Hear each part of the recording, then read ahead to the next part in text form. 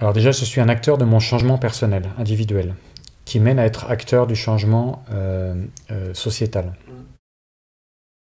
J'essaye de, porter ce, message du positif, du changement positif, partout où je peux. La dernière conférence que j'ai faite, c'était Innover pour changer le monde. La prochaine que je vais faire, c'est justement sur le changement. Les accompagnements personnels que je fais de porteurs de projets.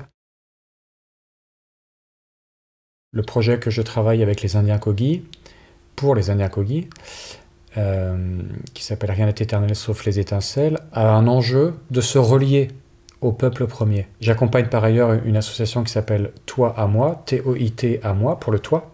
Et l'objectif, c'est de donner un toit aux, sans domicile fixe.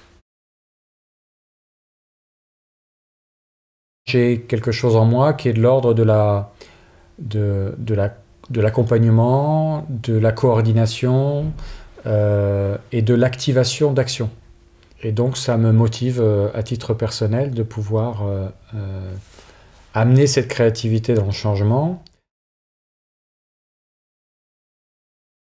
Ce sont des projets qui sont nouveaux, donc qui sont pas comme avant, et donc qui ont des problèmes de modèle économique, les uns après les autres, qui ont des problèmes de développement, qui ont des problèmes d'acceptation dans la société.